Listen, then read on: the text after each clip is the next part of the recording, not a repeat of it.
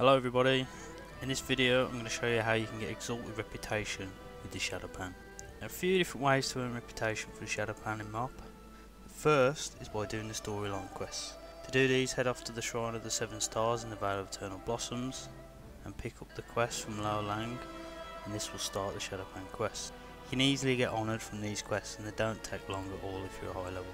Once you've done these you can start your daily quests at the Shado-Pan Garrison in Townlong Steppes. Before you do that can also kill the Sha of Anger, which respawns around every 10 to 20 minutes. From this, you'll get the Claw of Anger, which gives you a quest to turn in at the Shado-Pan Garrison, rewarding you 550 rep. Heading on to the daily quests, you'll be given 4 quests to complete each day.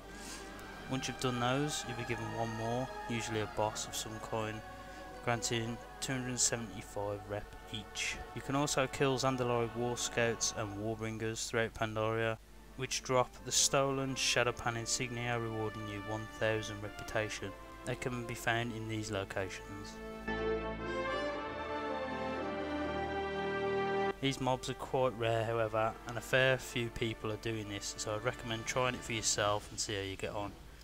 I personally did it around two laps of the route and didn't find any so I'm just going to carry on with the dailies but the option is there if you want to do it. And once you get to Revered, you can purchase the Grand Commendation of the Shado-Pan, which unlocks a 100% bonus reputation gain with the Shado-Pan across all characters. So make sure you get that. Once exalted, you can get the amazing Tiger Riding mounts, the cool Transmog Helm, which can be employed to any class, I believe.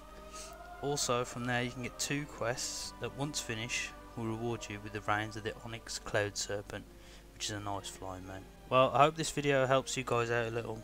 If so, please give it a thumbs up and feel free to leave a comment. Thanks for watching, good luck and happy farming.